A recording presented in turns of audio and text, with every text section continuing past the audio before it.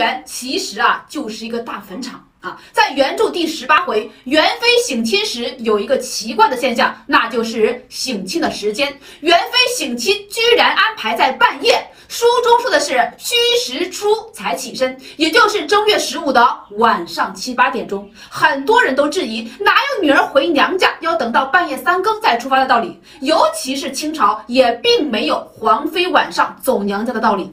作者不可能没有常识，他是想说，袁飞其实早已经在异国他乡折磨致死，回来的呀根本就不是人。而是鬼，只有鬼才能在晚上属阴的时候回来啊！再看他是什么时候走的，太监喊的是时宜丑正三刻请假回銮，这是凌晨四点左右啊！民间有一种说法，不管是什么妖魔鬼怪，都要在头遍鸡叫之前回到阴间啊！头遍鸡叫就是凌晨四点，所以这一定不是巧合，而是作者刻意为之。还有刘姥姥曾经在大观园里讲过这么一个故事，她说有一年。冬天，他们村下了几天几夜的大雪，雪下的厚度啊都有三尺厚。凌晨天还没有全亮，他透过窗户啊看到一个十六七岁的标致的小姑娘，抱着柴火站在雪地里。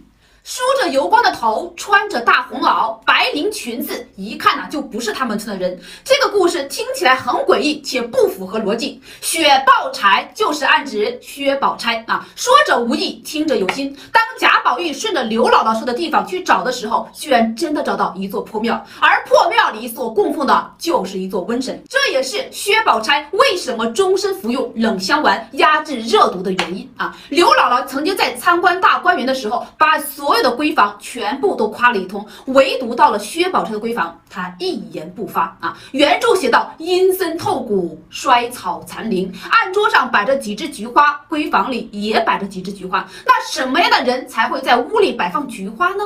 薛宝钗住处一株花木也无，只见许多异草。于是贾宝玉给这处建筑取名“横指清分”啊，起因是横直清坟。《红楼梦》从开头到结尾，这么大个大观园，这么多夫人丫鬟，愣是没有生出一个新生儿，反倒是每过几集就有人死去。《红楼梦》的开头就是一个僧人和一个老道在对着石头说话。为什么活人会石头说话呢？啊，因为他们在超度亡魂。